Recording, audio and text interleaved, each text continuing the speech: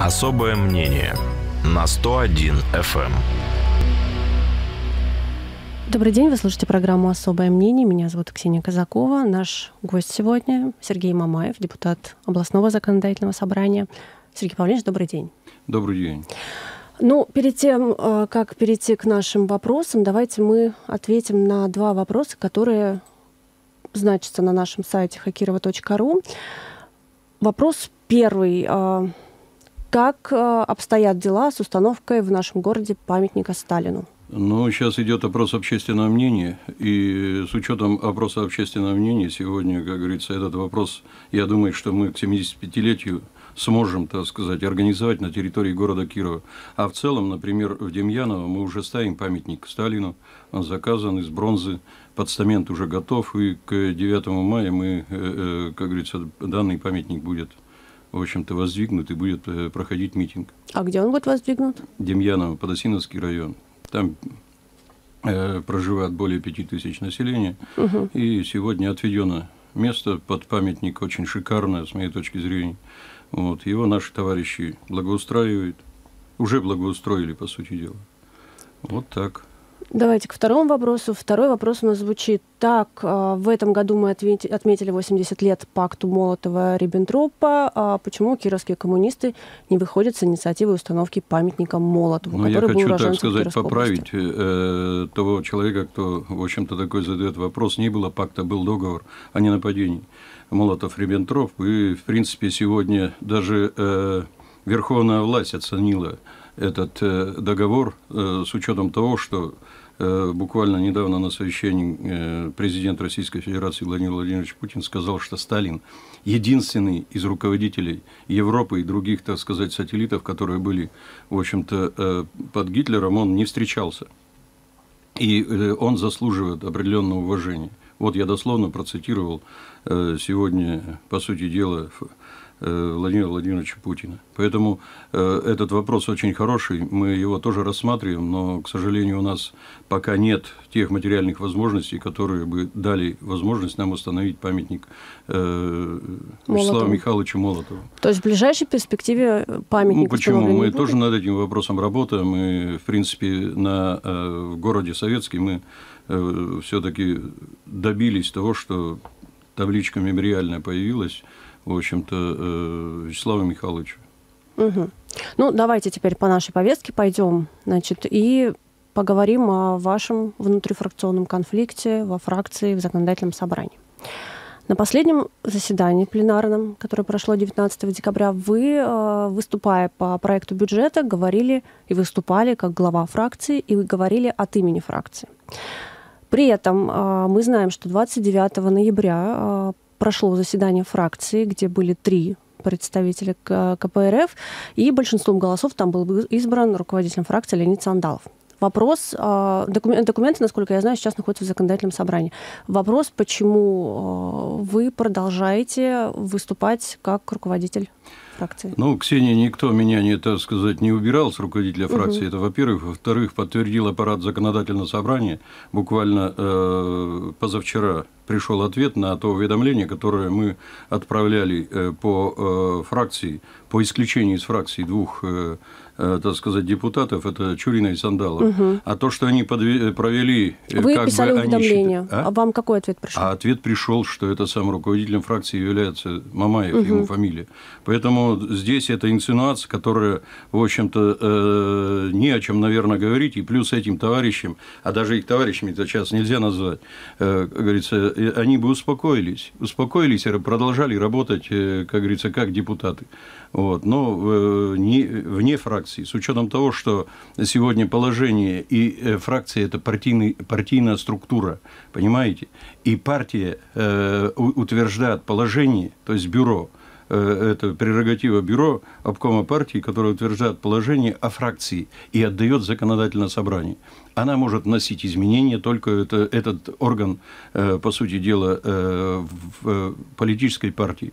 Вот. Поэтому, как говорится, положение у нас давно оно зарегистрировано, и, в принципе, мы провели Э, как говорится, заседание фракции, и согласно положению, э, в общем-то, все было законно. А то, что они инсинуацию сделали, выдвинули, в общем-то, э, Сандалова, это они даже не собирались. Там поддельные документы, по сути дела, им тоже дан ответ.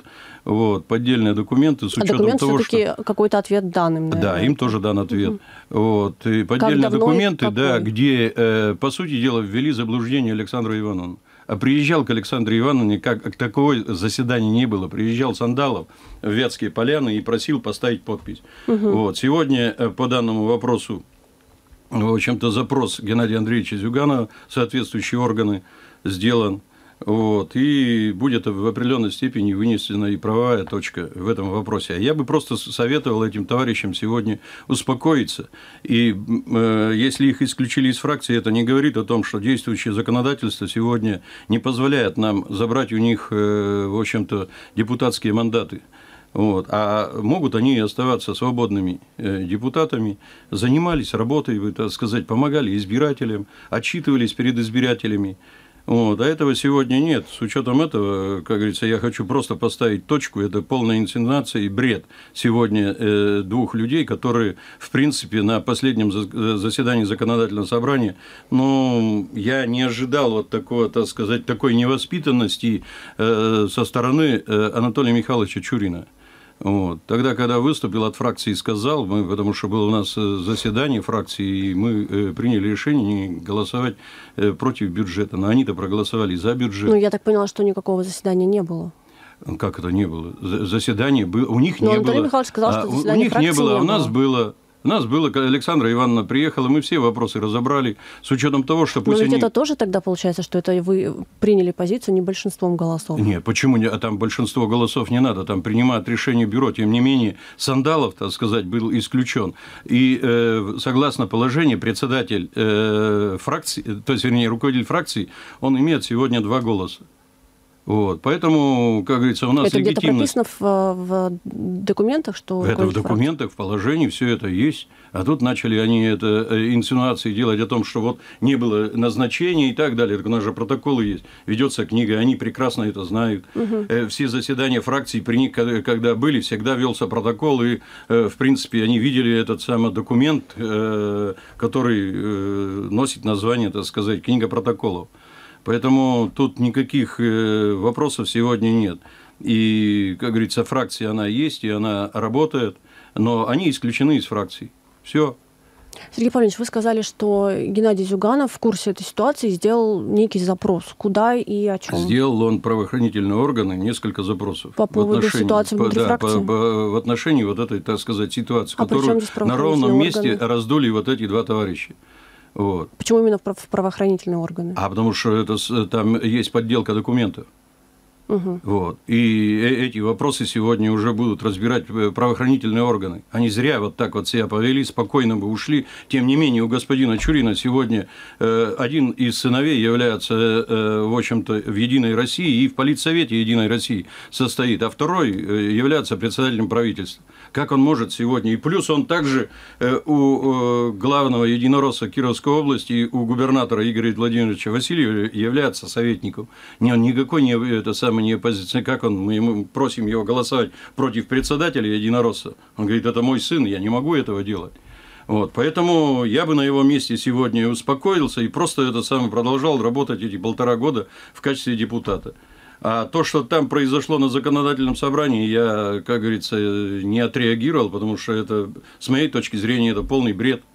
Вот, это мне напомнило, знаете, один из сюжетов фильма «Корона Российской империи». Помните, когда неуловимые мстители, их, э, так сказать, послали за короной во Францию, и там два вот этих мигранта э, решили, так сказать, э, себя сделать императорами. И когда один закричал «самозванец», и у них это самое пошла, так сказать, определенная драка, вот мне это напомнило вот этот сюжет. Все-таки он, глава департамента бывший, как говорится, столько время проработал, в общем-то, в образовании, и я не думал, что у него это самое, вот так вот, э, так сказать, его воспитание, когда, э, э, как говорится, услышал вот эти слова, позволило ему вот такому, это, это полный бред, это полная, так сказать, потерянность и так далее, с моей точки зрения. Сергей Фарович, давайте сделаем и бессилие. перерыв и вернемся и эту тему еще обсудим.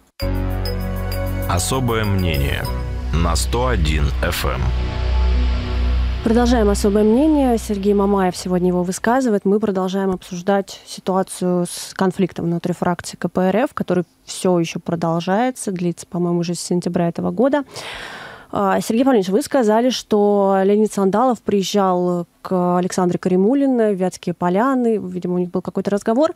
Вопрос она же отозвала свою подпись чем? письменно. Вот, вот. Портал Newsler написал, что она отозвала подпись. А, это отозвала. действительно так? Действительно Тем отозвала? не менее, она на чистых листах это поставила. Она прекрасно понимает, что это, э, как говорится, это ну, как уговорил человек, наверное, это самое на, на тот момент о том, что мы все должны работать вместе и так далее. Вот она так мне пояснила э, в разговоре с ней о том, что Сандалов ее именно мы должны дружно работать все вместе, и, как говорится, руководителем фракции остается Мамаев и так далее.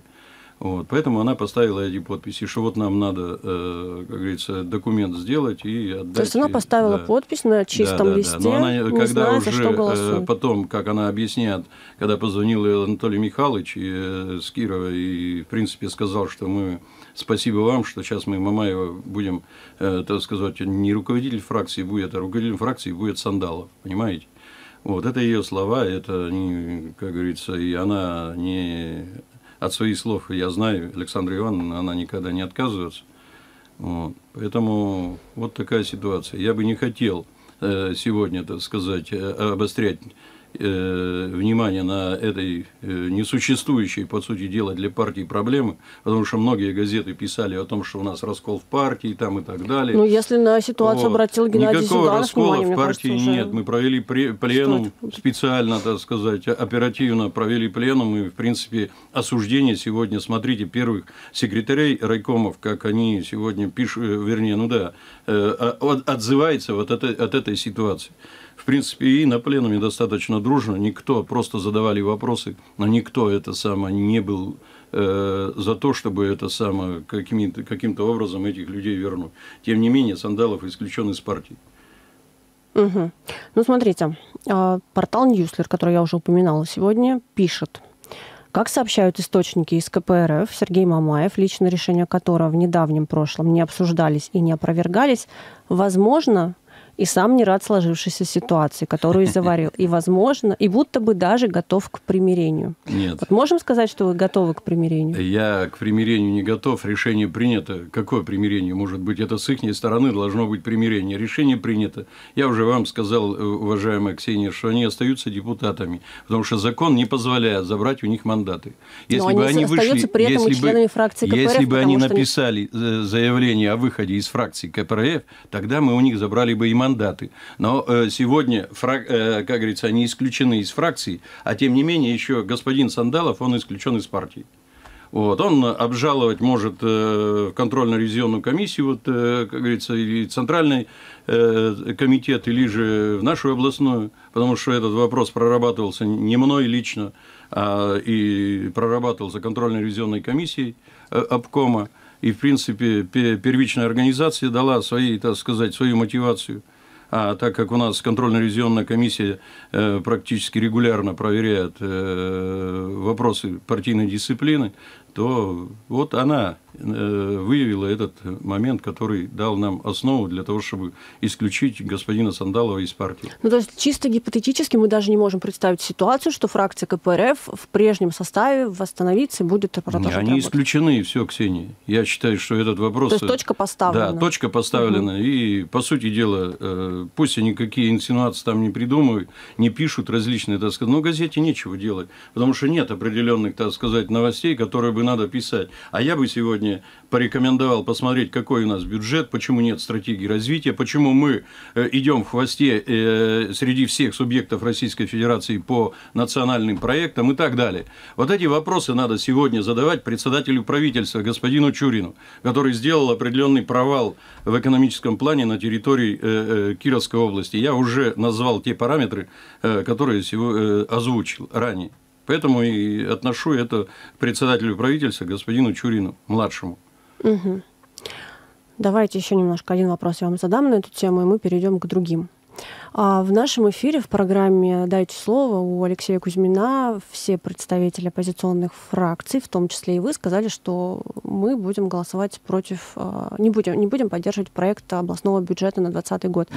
В общем-то, а, консолидированно все проголосовали. В городской думе ситуация была, ну, такая же, да, то есть все оппозиционные фракции не поддержали проект городского бюджета, кроме одного депутата, Алексея Овечкина который входит во фракцию КПРФ. И причем я заметила, я посмотрела голосование, я заметила, что по некоторым важным вопросам Алексей Овечкин голосует, э, ну, так скажем, в в солидарности с а, Единой Россией. Вот а, с чем это связано? С чем Почему это связано? Это связано И можете господин... ли вы влиять Я понял. на голосование? Это связано с господином Сандаловым. Они очень неплохо, неплохих дружеских отношениях, поэтому и Овечкин так себя повел, господин, как говорится. Но э, у меня еще не, не, не было разговора на эту тему. Я, э, это предстоит после Нового года. Э, то, что сегодня вот так вот они себя ведут, а как они хотели, голосуют за бюджет в это партия, так сказать, сегодня аргументированно говорит о том, что нельзя принимать такие бюджеты, тем не менее сегодня нет на территории Кировской области, э, как говорится, стратегии развития Кировской области, не выполняется закон о стратегическом планировании, федеральный закон на территории э, Кировской области, он привязан сегодня бюджету. Бюджет должен это самое быть привязан к этому э, э документу, который называется, называется это э, стратегия развития Кировской области. Мы же не видим, что у нас в перспективе будет. Э, если мы бюджет принимаем, это, с моей точки зрения, это смета или же бухгалтерский просто документ. С учетом того, что перспектива не, не просматривается в этом бюджете на развитие Кировской области. Как мы можем за него голосовать даже вот по этим параметрам? И те э, товарищи из других э, оппозиционных партий, они это прекрасно поняли. Вот. Хорошо, тогда мы можем сказать, что в э, городской думе во фракции КПРФ раскол происходит? Ну, это э, я не могу сегодня назвать расколом. Я еще раз говорю, что там два у нас депутата, а вы знаете, что фракция может быть даже из одного человека. Вот. Поэтому, как говорится, будем разговаривать с Алексеем Овечкиным. Вот, и его понимание сегодня э, в отношении бюджета, почему он голосовал за бюджет. Если сегодня даже э, господин товарищ Бакин, э, Владимир Гаврилович, мной уважаемый председатель ЗАГС Собрания, вообще, так сказать, не голосовал. И вы говорите, как прошел бюджет, там 37 человек проголосовало, 9 против, 5 воздержалось. Вот, поэтому это сегодня звонок кому? Председателю правительства в первую очередь. И то, что отключали микрофоны, дали 5 минут, э, в эти 5 минут по такому объемному документу и по документу жизнеобеспечения на территории Кировской области, это, это вообще нонсенс сегодня. Давайте вот. мы к городской думе вернемся. А, городской, по городской Вы думе сказали, что один фракция, возможно, из одного депутата. Значит ли это, что Алексей Овечкин кандидат Не, на ну мы его предупредим, и предупредить руководителя фракции, что так нельзя себя вести. И, как говорится, ведь мы не сразу вот такие, э, как говорится, кардинальные, резкие меры принимаем. Это, это, по сути дела, как вам сказать, с моей точки зрения, это, это просто-напросто предательство. Ну, нельзя же так, ты идешь от партии сегодня и знал, от какой партии идешь. Знал о том, что есть аргументированная, так сказать, сегодня э, а, объективная причина не голосовать за данный э, документ, а ты голосуешь за него, или тебя э, купили, или тебя попросили. Но я больше чем уверен, что его попросили. Давайте к другим темам перейдем. С 1 января в Кирове будет введен единый тариф на общественный транспорт. А, он сравняется для города, получается, что он сравняется для города и для сельских территорий, ну, таких как Бахта, Русская, Костина. Соответственно, а, если раньше люди там, в эти сельские территории ездили и платили за километр, то сейчас а, тариф сравняется и будет везде 22 рубля. Соответственно, если мы знаем, что если где-то убыло, то где-то обязательно прибудет. Безусловно. Соответственно, а, уже пошли разговоры о том, что, а, вероятно, в скором времени нас ждет повышение тарифа. Максим Михайлов, глава РСТ, об этом уже сказал. Сказал, что с 1 февраля нужно нам готовиться к повышению тарифа, и цифра будет озвучена, вероятно, всего в январе. И эксперты говорят, что, наверное, это будет цифра в районе 25-26 рублей. Вот обоснована ли эта цифра, на ваш взгляд? Нет, я вообще не понимаю сегодня РСТ. И задавал этот вопрос публично за заседании законодательного собрания, по какой методике все-таки считает тарифы на территории Кировской области. Взял разрез полностью, так сказать, всей Российской Федерации, посмотрел, у нас самые высокие тарифы по всем направлениям, это Кировская область представлена. Я считаю, что там есть, с моей точки зрения, коррупционная составляющая именно вот у этого органа, который занимается, так сказать, тарифами на, на территории Кировской области. И то, что касается сегодня транспорта, я поднимал этот вопрос и, подни... и, и спасибо вам, Ксения, что вы его сегодня, так сказать, э, поставили на обсуждение, этот вопрос, с учетом того, что у нас э, всегда были планово убыточные, в советское время все э, пассажирские перевозки, все были. Э, почему? Потому что э, повышение цен и надо компенсировать расходы, всегда компенсировал бюджет. А на сегодня мы компенсируем из бюджета только авиаперевозки и железно, железнодорожные перевозки. Угу. А автомобильный пассажирский транспорт, по сути дела, мы не, не датируем. И с учетом того, что там огромный бардак, я не исключаю, что начнутся аварии, где будут гибнуть люди и так далее далее, потому что выходят на линию автобусы не всегда, так сказать, подготовлены, не всегда они лицензированы, тем не менее очень много э, районов, которые вообще не имеют сегодня никакого сообщения, э, я имею в виду пассажирского, э, с региональным центром, это порядка восьми районов. Вот, поэтому тут надо наводить порядок и надо сегодня датировать, э, в общем-то, чтобы не поднимать тарифы, э, как говорится, на пассажирские перевозки. Им неоднократно предложи, письменно писал, устно, так сказать, предлагал. Предлагал это на рабочей группе по э, формированию бюджета. И вы, говорю, вы доведете сегодня до беды. Почему? Потому что э, этот вопрос сегодня очень остро стоит на территории Кировской области. Если взять город Киров, там тоже там тоже сегодня надо посмотреть и наводить порядок. Нельзя это самое постоянно, э, так сказать, руку ложить в чужой карман, то есть э, в карман э, собственного Население. народа. Угу. Понимаете? Поэтому надо сегодня смотреть, какие мы цифры и какие расходы несет то или иное автопредприятие, чтобы их сбалансировать, чтобы это самое не было вот этого разрыва и не было той предбан того предбанкротного состояния, которое во многих районах автоколонны, по-старому их назовем, получили сегодня. Вот. То, что касается э, этого вопроса, я вот предлагаю сегодня Минтрансу на территории Кировской области немедленно заняться данным вопросом, Э, и если необходимость будет, естественно, э, как говорится, я как депутат э, и большой ведущий политической партии, естественно, буду подключаться к этому вопросу и держу его на полном контроле. Я еще раз предупреждаю руководство, в первую очередь правительство Кировской области, что к этому вопросу надо отнестись очень серьезно и оперативно. Почему? Потому что... Потому что в январе уже будет решаться вопрос. Да, это уже... Э, мы видим, что происходит по стране, э, как говорится, сколько людей гибнет именно вот из-за такой ситуации, которая сегодня, она решаемая. Помните, были мы митинги проводили по э, э, железнодорожному сообщению – где прекратили, так сказать, ну, это было э, еще при Белых, и при его начало правления, когда они прекратили датировать, в общем-то, э, железнодорожные перевозки пассажирские, потому что, ну, это наши внутренние, в общем-то, вопросы, которые мы всегда датировали, они тут решили все, так сказать, бросить на произвол судьбы, и они прекратили, по сути дела, поставление электричек и так далее. То есть сменили расписание и э, аннулировали многие сообщения, так сказать, на, по, многим, по многим направлениям, например, там, в Амутнин, Песковку, там, это, Подосиновец и так далее. Но ведь вышли тогда из положения. Я же им тогда тоже это самый язык смазолил, говорить о том, что давайте, ребята, будем датировать. Это же беда. Нет денег. Я говорю, ну вы сегодня посмотрите, зачем нам на информационную политику огромные миллионы, так сказать, бросать? Зачем? Сергей Павлович, я предлагаю прерваться на рекламу и потом еще продолжим эту тему обсуждать. Особое мнение на 101 FM. Эм. Возвращаемся в студию, продолжаем особое мнение. Сергей Мамаев сегодня наш гость.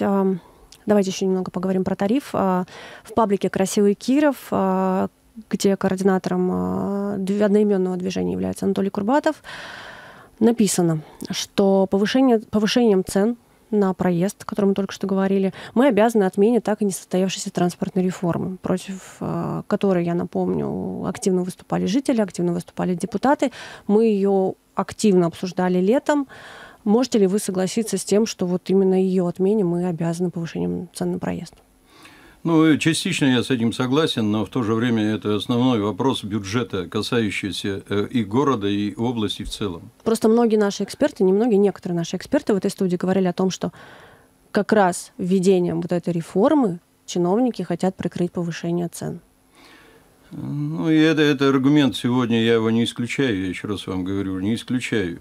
И этот аргумент, но самый основной аргумент – это бюджет сегодня и они обязаны были предусмотреть пассажирские перевозки с учетом того, чтобы вот э, тарифная политика была сбалансирована на территории города Кирова. Когда принимаются бюджеты, идут расчеты, и в эти расчеты должны были вкладывать и э, пассажирские перевозки, смотреть, как же они, э, так сказать, сегодня работают на территории города Кирова или Кировской области в целом, и давать свои предложения. Хотя Минтранс давал в область предложения, я точно знаю, и поддерживал меня в этом вопросе. То есть область не согласовала предложение Минтранса? Да, Минтранс угу. пытался это сделать, потому что было. Я, я им задавал прямой вопрос, они говорят, ну мы расчеты предоставляли. Вот. Тем не менее, сегодня контрольный пакет акций автоколонны – это за, у правительства Кировской области. Угу. Ну, давайте к другой теме. Э, и следующая наша новость, которую мы будем обсуждать, звучит так. В Кировской области на торги выставлены 170 квартир, где живут учителя и врачи.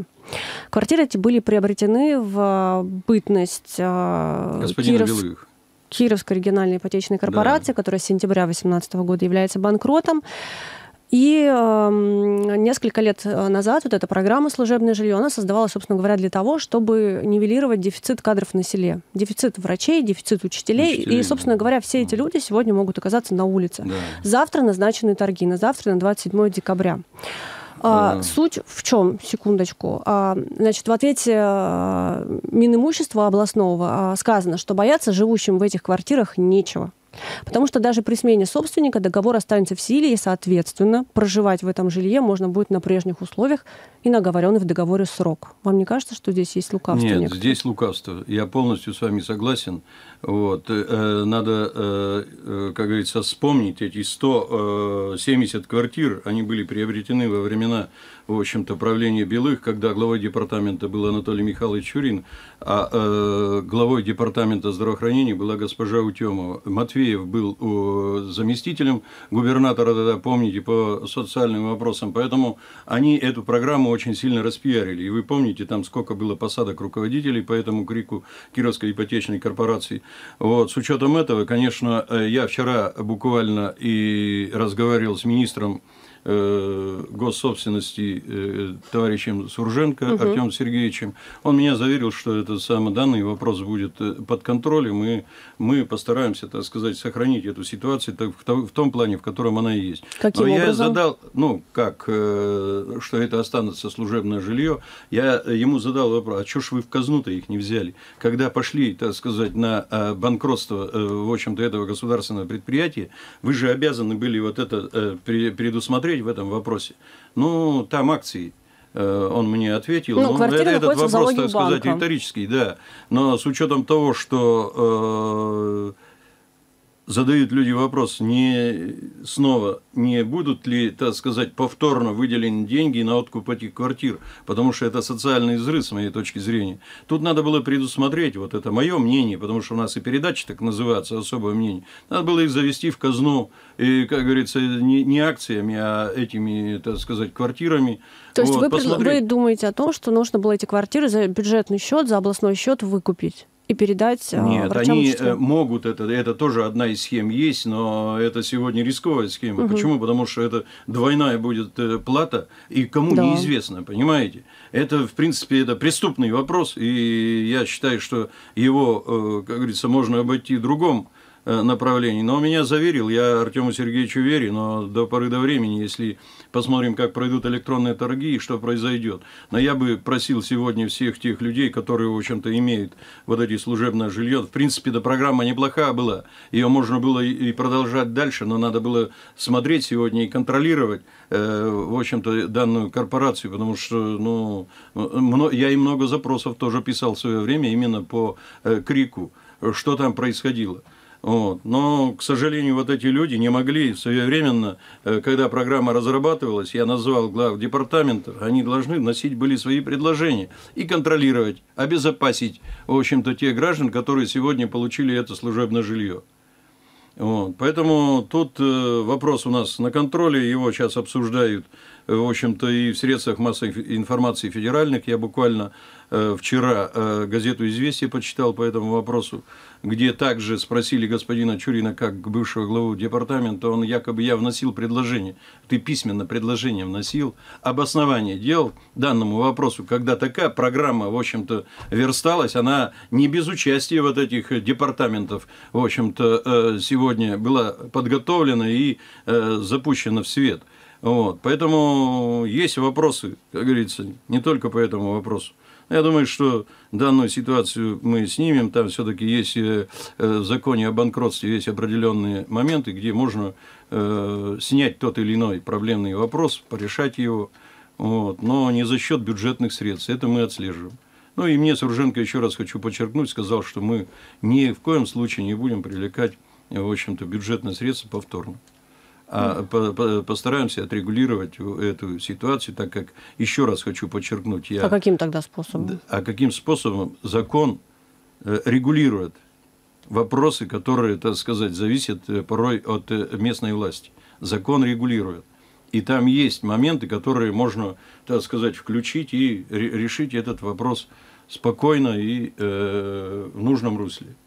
Ну вот смотрите, вы сказали фразу а, «посмотрим, как пройдут электронные торги».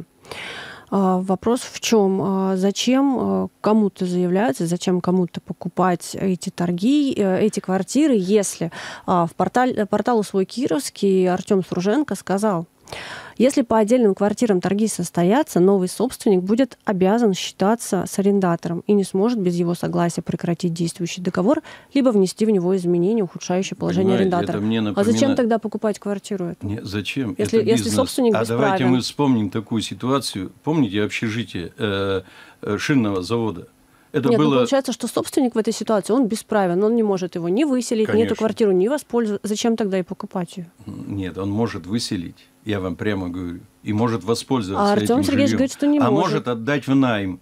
Понимаете? Он уже будет собственник. И пусть тут, так сказать, может, я ошибаюсь, это самое, есть определенные моменты в законе, на которые опирается э, товарищ Сурженко, но с моей точки зрения, э, будет собственник, это точно такая же ситуация, как хозяева, некоторые, так сказать, как, по общежитий.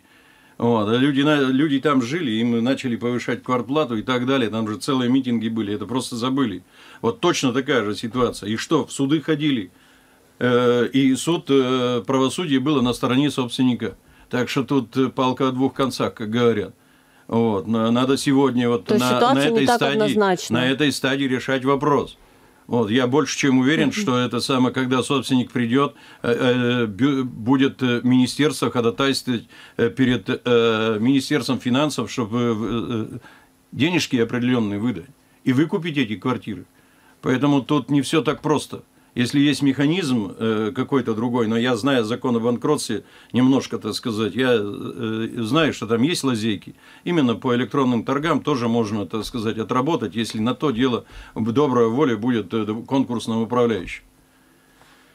Угу. Ну, еще давайте про Киров немножко поговорим. А, есть а, в собственности Кировской региональной ипотечной корпорации, а еще один участок. Он находится в квадрате, вот здесь совсем недалеко, в квадрате улиц Московская, Октябрьский проспект, э, Горького и Преображенская. Участок небольшой, это в сквере как раз залами, парусами. С ним что думаете вы будете? Э, что с ним будет? А что с ними будет? Там есть э, одно э, кирпичное Ну, он здание. будет также продан э, с, не знаю, с молотка или... Но там ну, надо будет согласовывать вопрос, если сносить там одно есть здание э, в кирпичном исполнении – оно является, э, как сказать, Ну, это, по-моему, не тот участок, там Нет, деревянное там есть, здание, есть. которое... Да, это надо будет э, Министерству культуры этот вопрос разбирать, с учетом того, что напротив этого парка э, по улице Энгельса, а сейчас она Преображенская называется, но она угу. фиктивная, эта улица, название ее, потому что Быков тоже это самое здесь превысил свои полномочия, и, и прокуратура в то время не усмотрела, э, как говорится, в этом э, определенной проблемы. Поэтому там те два дома, которые строятся напротив этих э, бывших э, э, зданий больницы, вот, они получали разрешение через Минкультуры. Даже напротив они строятся, не в этой зоне, понимаете? Угу. Что будет с ними, я не могу сегодня сказать, чья собственность тоже не занимался, но я знаю точно, что одно имеет определенную, так сказать, э, вот такую коллизию, которая э, сохранена за этим зданием. Сергей Павлович, у нас совсем немного времени остается, буквально минута, поэтому я вам э, быстро задам вопрос и попрошу коротко на него ответить. А, Кировская область получит 40 миллионов рублей из федерального бюджета на поощрение кировских чиновников. Заслуженно ли эти деньги будут они получать, как вы считаете? Но я думаю, что сегодня, допустим, правительству, так это незаслуженно простым рядовым э, клеркам, которые работают в министерствах, ведомствах, да, они свою работу выполняют, и у них заработная плата очень низкая. Вот если эти деньги пойдут, так сказать, именно на а, тем людям, которые получают 15-20 тысяч э, как в качестве премии, то я считаю, что это будет заслуженно. Угу. Завершаем. А если они пойдут тем чиновникам, заместителям, у которых зависит заработная плата от губернатора, от министрам и так далее, то это нонсенс. Завершаем на этом программу «Особое мнение». Его гостем сегодня был Сергей Мамаев, депутат Законодательного собрания Кировской области. Всего доброго, до свидания. Вам тоже Спасибо. всего самого доброго и с наступающим Новым годом всех радиослушателей и вас, Ксения. Спасибо. Особое мнение на 101 FM.